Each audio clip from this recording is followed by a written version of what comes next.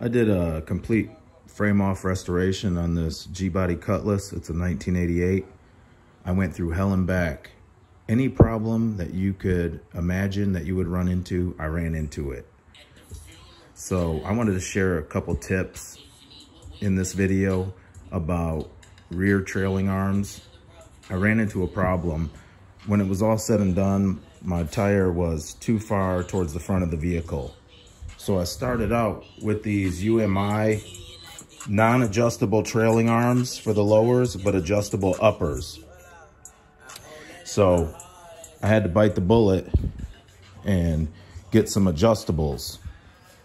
And they were already set and tightened down, so I had a hard time figuring out which way the bolts went to loosen them and tighten them. So I'm gonna show you guys what I did and I'll show you a couple other tips and some issues that I ran into.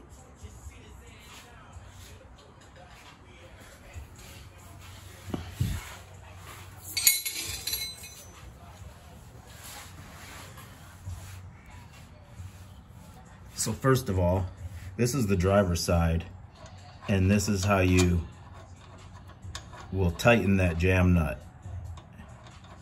And that's how you loosen it. This is on the driver's side.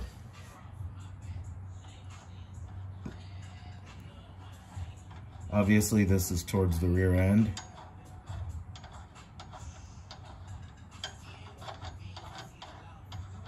So that's how you tighten and loosen those.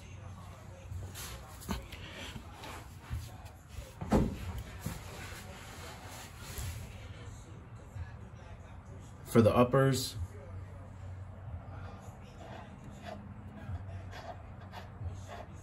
That's how you tighten it. And that's how you loosen that jam nut. Up here, I believe it's opposite. Yeah. And then towards you is how you will tighten it down. I'll share a couple other tips while I'm making this video. So here's the breathing spout on the Quick Performance 9 inch. And this is what I did. I just got a hose.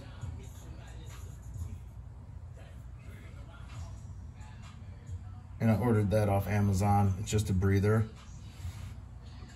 And I tucked that up in there.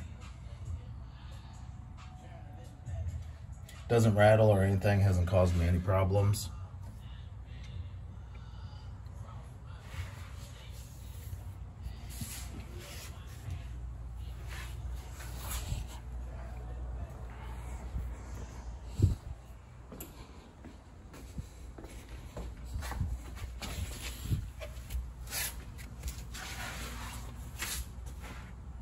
This is the passenger side.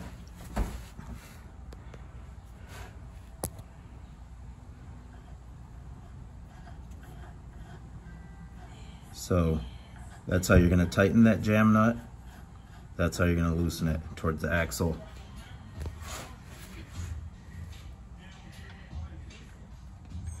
This is the chassis side. That's tightening the jam nut, that's loosening it.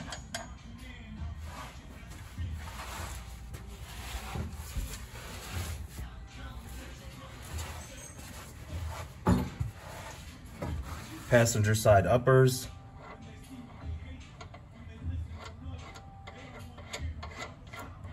That's how you tighten it towards the axle.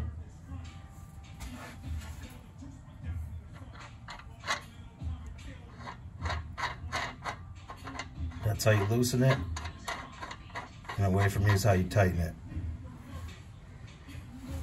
Now take note, all I did was take the shocks off while it was already on the car with those non-adjustable lowers. And I put it on jack stands. And I was able to pretty much turn these by hand once they were loose. The same with the bottom trailing arms.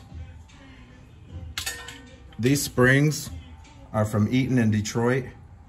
Me and my friends always use these two inch above ride height springs for our old schools because we ride with stereos in the trunk and it'll make your car look like it's squatting.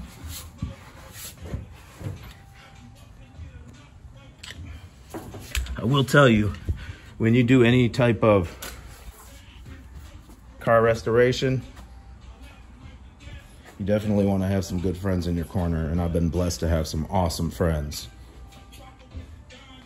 And there's some guys that make some really tight videos too. If you're doing a frame off on a G-body or any frame car, I would uh, definitely recommend you watch this guy, Papo702 on YouTube. I watched that video and I was like, man, I can do that. He's right. And I did it. So next, the thing with these two inch above ride height springs is it stretches the original shock replacement, stretches them out to the max.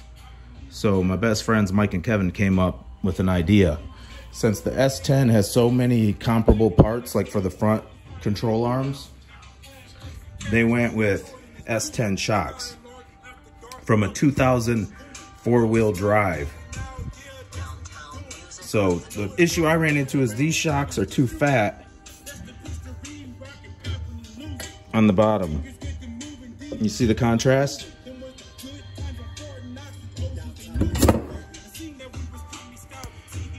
So the problem was it was rubbing up against these caliper bolts. Bam! This is the solution. Shock relocation brackets. You can get them online. I think Spohn Performance. I bought some from them, but this was the problem I ran into. These are for a G-body. Check that out. They fit right on there, no problem. But they do not fit on the S10s. A lot of things that, you know, people don't take into consideration. So I bent it and did some contortionist shit to it and pretty much fucked it. But my best friend Mike had a good idea. He said, go ahead and uh, take a flap disc to that and grind all that down. So I did it and it does work. Back in the game. But I don't know about you, but I don't like modifying brand new parts like that. So fortunately I work for a fab shop and we have some of the most talented people in the business. Whatever you could possibly dream of, we can make.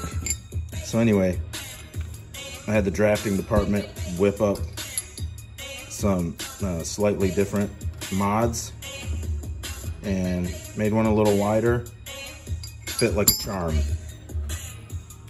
So I don't know exactly if that's all gonna work how it's supposed to, but I'll make another quick video and you can use those. So these shocks are definitely longer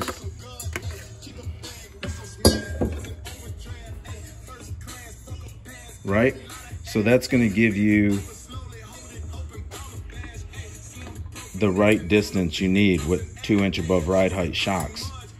Now the company will say, no, you don't need that because once you put the weight in the trunk, it's gonna come back down to ride height and it'll be fine. But come on. Look at the difference. This shock is nothing in comparison, right? This is going to give you a nice smooth factory ride with all that weight in the trunk. Because I would say anybody that's like riding with a serious stereo like we do, that's about 500 pounds in the trunk. With your amps, your box, your secondary battery. So that's what we came up with. I can't think of anything else.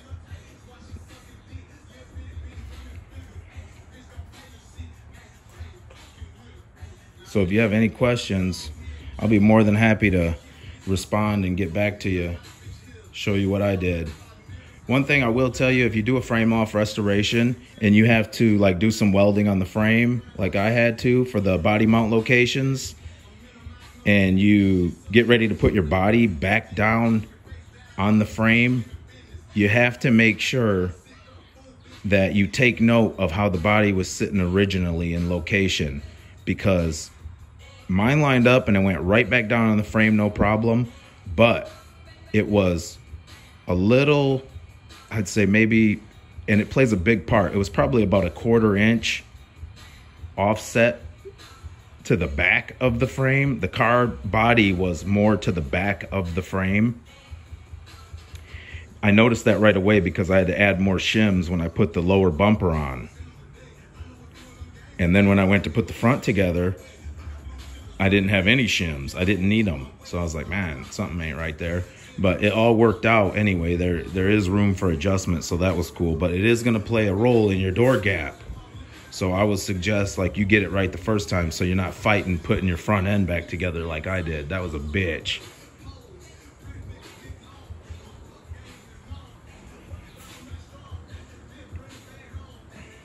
So you can do it yourself in your garage, obviously.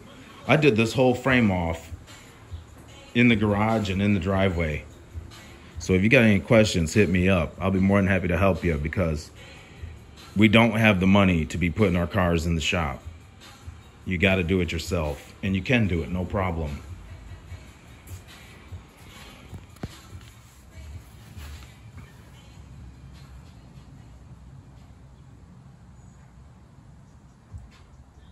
Another thing I had to do was buy new emergency brake cables and pretty much customize them and put them in. I got a kit from, what was it? Uh, Wilwood. And then used the original new replacement, which I bought like five of those till I got the right one for the front of the car. So if you have any questions about running the e-brake, hit me up on that too. Or fuel lines, brake lines. I had to deal with all those issues. Everything on this car is brand new. Brand new tranny, new blueprint motor, fuel tank, body mounts. So if you have a question, I'm sure I can answer it. If I can't answer it, I got some masters in the trade that can.